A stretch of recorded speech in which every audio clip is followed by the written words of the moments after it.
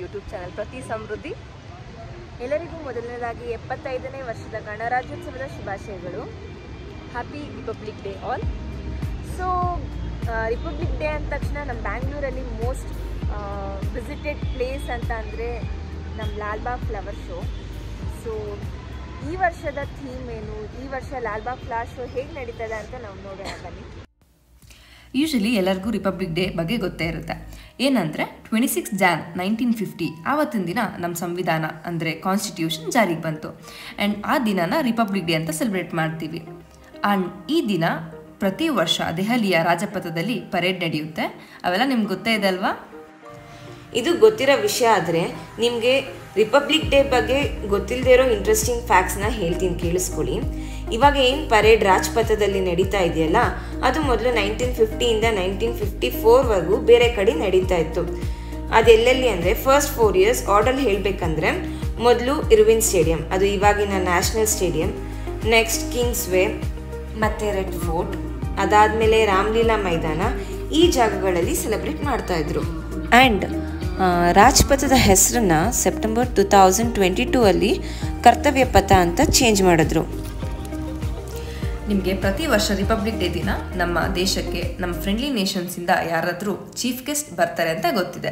ಆದರೆ ನಮ್ಮ republic day ಸೆಲೆಬ್ರೇಷನ್ನ ಫಸ್ಟ್ ಚೀಫ್ ಗೆಸ್ಟ್ ಯಾರು ಅಂತ ಗೊತ್ತಾ? ಸಾವಿರದ ಒಂಬೈನೂರ ಐವತ್ತರಲ್ಲಿ ಇಂಡೋನೇಷ್ಯಾದ ಆವಾಗಿನ ಅಧ್ಯಕ್ಷರಾಗಿದ್ದ ಡಾಕ್ಟರ್ ಸುಕಾರ್ನೋ ಅವರು ಬಂದಿದ್ದರು ಇದು ರಿಪಬ್ಲಿಕ್ ಡೇ ಬಗ್ಗೆ ಆದರೆ ಇನ್ನು ಬೆಂಗಳೂರಿನ ಲಾಲ್ಬಾಗ್ ಫ್ಲಾಶ್ ಶೋಗೆ ಅದರದೇ ಆದಂಥ ಇತಿಹಾಸವಿದೆ. ಈ ಫ್ಲವರ್ ಶೋ ಲಂಡನ್ನ ಗ್ರೇಟ್ ಸ್ಪ್ರಿಂಗ್ ಶೋ ಇಂದ ಇನ್ಸ್ಪೈರ್ ಆಗಿ ಮಾಡ್ತಿರುವಂಥದ್ದು. ಇವಾಗ ಗ್ಲಾಸ್ ಹೌಸಲ್ಲಿ ಫ್ಲವರ್ ಶೋ ನಡೀತಾ ಇದೆಯಲ್ಲ, ಅದು ಏಯ್ಟೀನ್ ನೈಂಟಿಯಲ್ಲಿ ಕನ್ಸ್ಟ್ರಕ್ಟ್ ಆಯಿತು.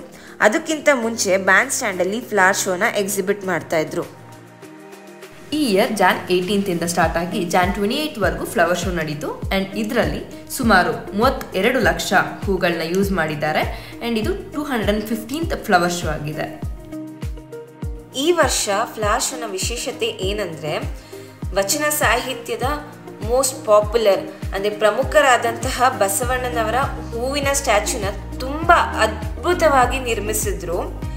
ಅದ್ರ ಮುಖಾಂತರ ನಮ್ಮೆಲ್ಲರನ್ನ ಕನ್ನಡ ಸಾಹಿತ್ಯದ ಸುವರ್ಣ ಯುಗ, ಅಂದರೆ ಗೋಲ್ಡನ್ ಎರಾ ಆಗಿದ್ದಂತಹ ಹನ್ನೆರಡನೇ ಶತಮಾನಕ್ಕೆ ನಮ್ಮೆಲ್ಲರನ್ನ ಕರ್ಕೊಂಡು ಹೋದ ಹಾಗಿತ್ತು.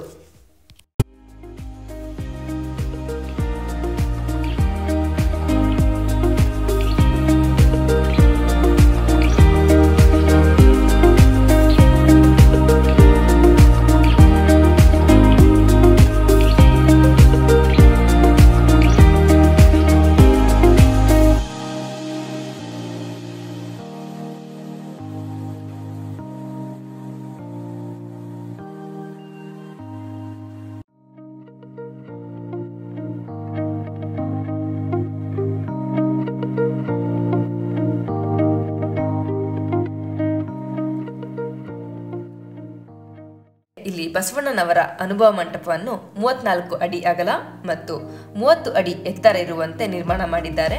ಇದಕ್ಕೆ ಫೋರ್ ಪಾಯಿಂಟ್ ಏಯ್ಟ್ ಲ್ಯಾಕ್ ಹೂಗಳನ್ನು ಬಳಕೆ ಮಾಡಿದ್ದಾರೆ.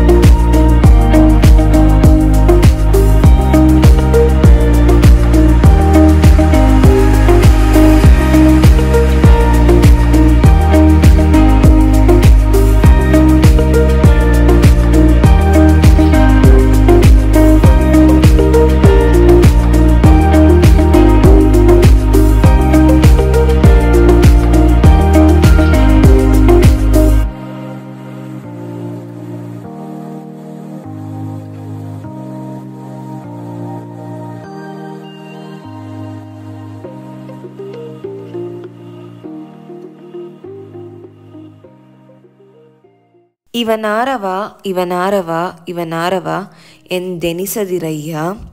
ಇವ ನಮ್ಮವ ಇವ ನಮ್ಮವ ಇವ ನಮ್ಮವ ಎಂದೆನಿಸಯ್ಯ. ಕೂಡಲ ಸಂಗಮ ದೇವಯ್ಯ, ನಿಮ್ಮ ಮನೆಯ ಮಗನೆಂದೆನಿಸಯ್ಯ. ಎಂಬ ಬಸವಣ್ಣನವರ ವಚನವನ್ನು ಹೇಳುತ್ತಾ, ನಮ್ಮನ್ನು ನಿಮ್ಮ ಮನೆಯ ಮಕ್ಕಳೆಂದು ಭಾವಿಸಿ ನಮ್ಮ ಯೂಟ್ಯೂಬ್ ಚಾನೆಲ್ಗೆ ಸಬ್ಸ್ಕ್ರೈಬ್ ಮಾಡುವ ಮುಖಾಂತರ ಪ್ರೋತ್ಸಾಹಿಸಿ. ಧನ್ಯವಾದಗಳು.